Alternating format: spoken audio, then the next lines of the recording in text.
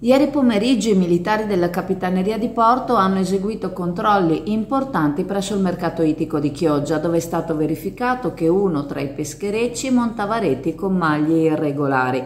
Il pescato è stato quindi posto sotto sequestro, i controlli si sono poi estesi all'interno del mercato ittico, presso la sala aste, dove i militari hanno accertato che si trovavano in vendita molluschi sotto misura capesante per l'esattezza. La vendita di prodotto ittico sotto misura costa importanti sanzioni ai pescatori e anche punti sulla licenza di pesca, ma quello che è più grave è che la pesca di prodotto troppo giovane depaupera la risorsa ittica, diminuendo gli stock.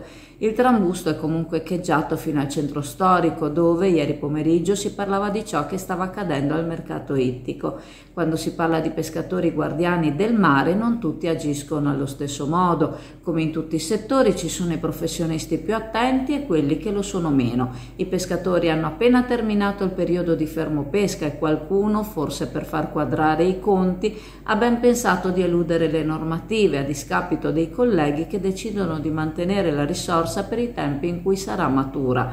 Il futuro della risorsa ittica dipende dai pescatori di oggi, non è da dimenticare.